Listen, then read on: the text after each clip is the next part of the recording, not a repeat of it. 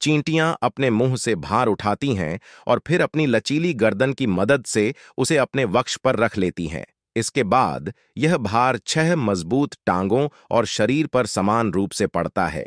चींटियाँ अपने छोटे आकार, हल्के द्रव्यमान और बाह्य कंकाल के कारण अपने वज़न से 50 गुना तक ज़्यादा भार उठा सकती हैं। कीड़ों में बड़ी मात्रा में अतिरिक्त ताकत होती है।